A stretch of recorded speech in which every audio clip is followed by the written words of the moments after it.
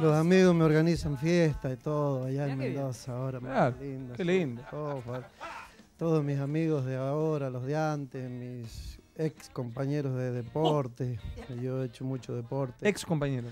Sí, porque ya no, no practico más deporte, únicamente frasquebol. Y cuando compañeros míos cuando jugábamos al fútbol. Ah, jugaba al fútbol. Sí.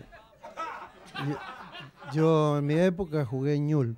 Ah, Newell's. ¿En Rosario? No, en Ñul lado, era más malo.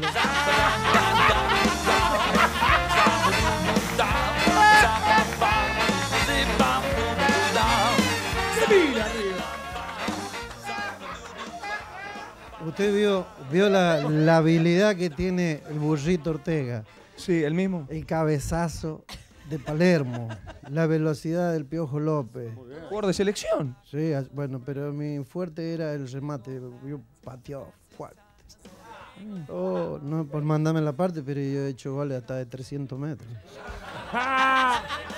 Si la cancha, si la cancha, si la cancha tiene 100. Y una vez estábamos jugando y yo, yo jugaba de es- stopper libero detrás de la línea de 4. Avanza el 10 contrario, le amago, muy inteligente yo sabía. Le amago y cuando tira la pelota doy un paso adelante y dejé Orsay como 14. Era el área chica nuestra.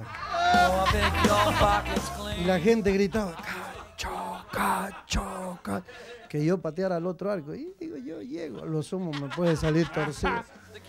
Y tomé carrera como 80 metros y, y le di, y le di de chavito.